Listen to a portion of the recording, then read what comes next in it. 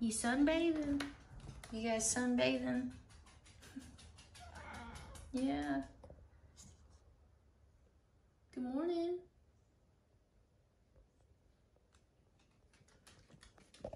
They love these sunspots.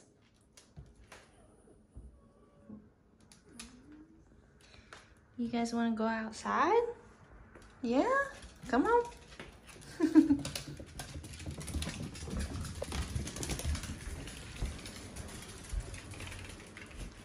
outside?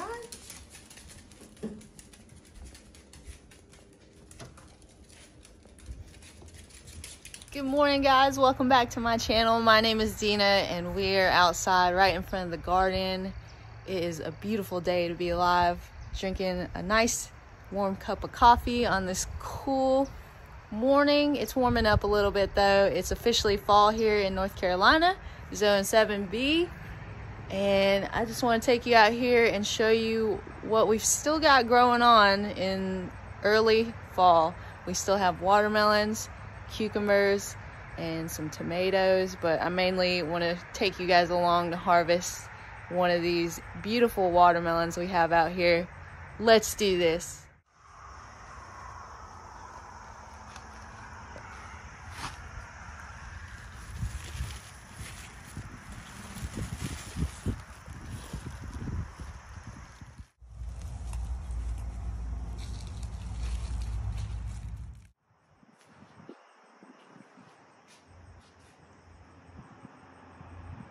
So I want to show you guys these cucumbers I just harvested in our tunnel. We built that tunnel in January. I'll link the video below if you want to see that whole process from start to finish.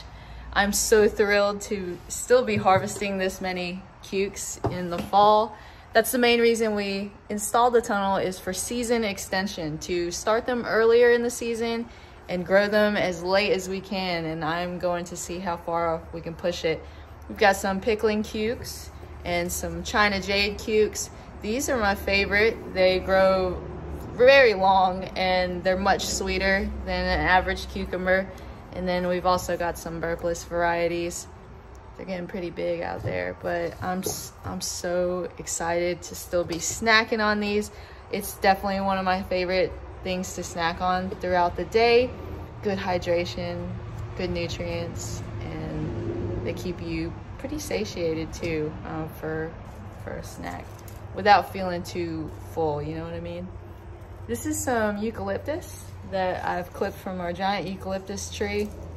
I'll be sure to throw in some shots of that, but our eucalyptus tree is so big. If you saw my last video, it's it's even taller than before. I like I could throw Christmas lights on that thing and just use that as the tree. But so happy about these cukes.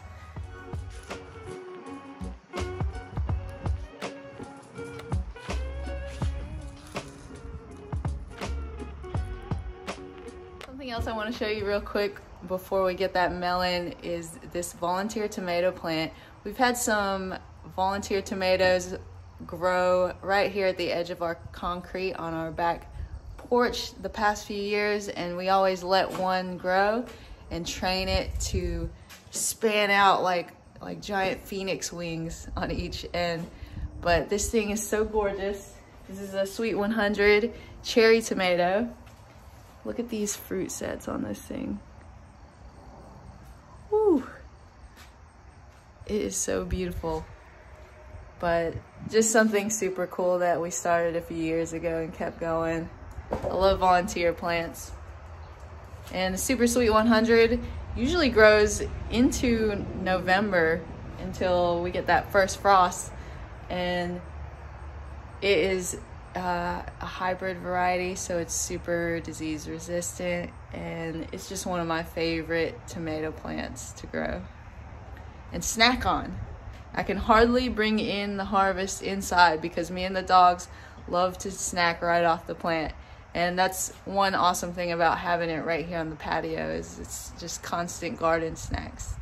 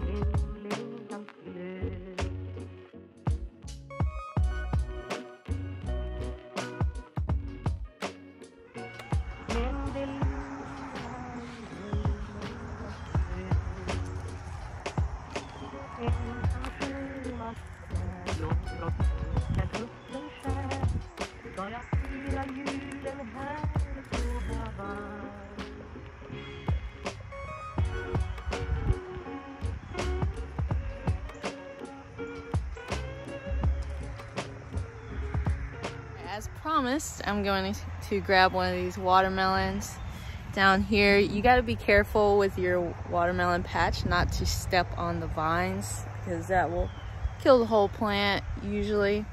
And so I just try to step in between.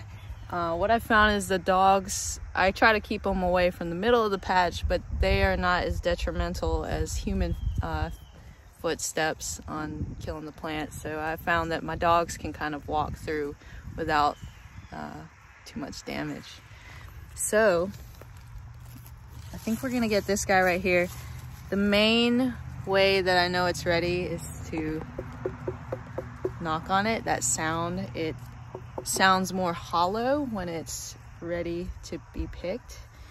And I encourage you to knock on your watermelons throughout the whole grow process so you can hear that difference of when they're small to when they're ready to go.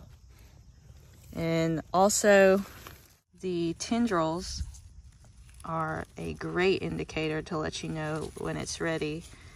Now you want to find the closest tendrils and see that they're dried up. And that's also a great indicator that your watermelon is ready. And the last thing you can do is to turn it over. If it's got that yellow spot, that's another sign that it's good to go. But like I said, I like to knock on them, and I think that is the number one indicator. Number two being the tendrils, and number three being the spot. But you just learn as you grow. I've been growing melons for three or four years now, and you just get better and better at slicing them open at the right time. You it only takes a few melons that are unripe for you to be more patient about picking them. So, gonna go ahead and snip it right here. And we're gonna bring this baby in and slice it open. I know I just said bring it in, I just meant bring it into the yard a little bit. So we're about to slice this open. My favorite way to slice a melon open is with a machete. So let's do this.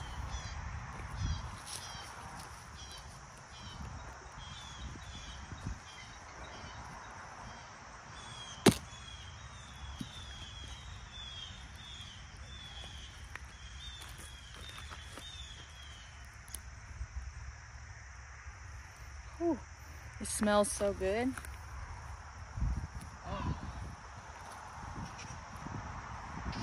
Got my spoon ready to go. Try this baby out. This is a Jubilee melon. It's got pink flesh and are super sweet.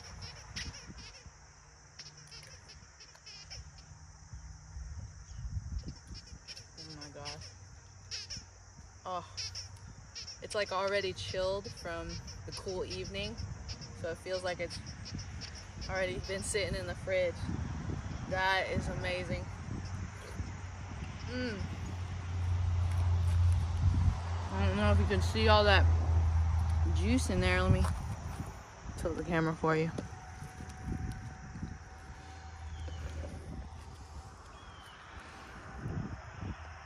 Can you see all that juice? My goodness. so good. Give the dog some.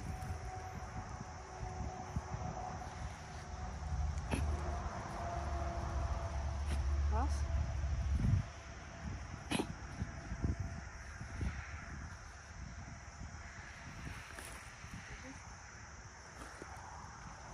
Willie, Willie, you want some watermelon? Come here. Willie's over there rolling in the mulch. Willie, you want some watermelon? Come here. Oh my goodness. Mmm. Dee Dee, Dee Dee. Dee Dee's helping herself with this other one. Diva, Diva, Diva, Diva. Hey, hey, hey, hey, hey. So good they can't help it.